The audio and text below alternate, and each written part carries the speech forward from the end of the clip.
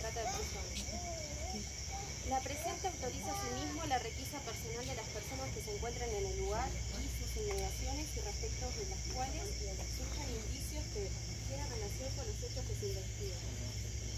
Como también proceder al registro de los automotores y motos ubicados en el lugar o inmediaciones, respecto de los cuales surjan idénticas sospechas. La diligencia por la que la presente autoriza deberá realizarse el día de la fecha a partir de las 20 horas con validez por el término de 48 horas, con la habilitación de horario nocturno, autorizándose el uso de la fuerza pública en caso necesario, debiendo observarse las disposiciones contenidas en los artículos 225 y 228, adecuándose en el horario de inicio a las circunstancias de la investigación, dejándose indicado que una vez comenzada la diligencia podrá prorrogarse el tiempo necesario a fin de su realización debiendo observarse las disposiciones en el capítulo 2, título 3, libro 2 del Código Procesal de la Nación. Y poner en conocimiento inmediato a estos juzgados del resultado de la diligencia. La presente, la presente orden autoriza asimismo a las autoridades intervenientes a secuestrar los elementos relacionados con el delito investigado conforme a lo dispuesto en el capítulo 3 del mismo título, artículo 231 del Código Procesal Penal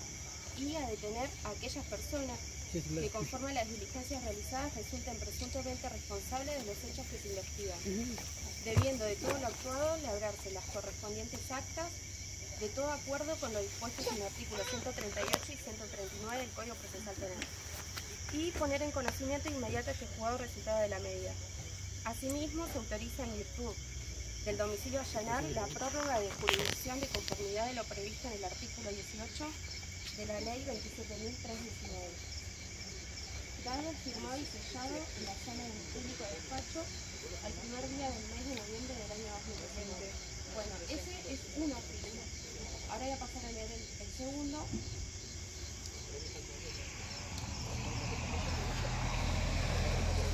Conforme a lo resuelto en las actuaciones ejecutadas en barra 2019 para que la aplicación de la ley 26.364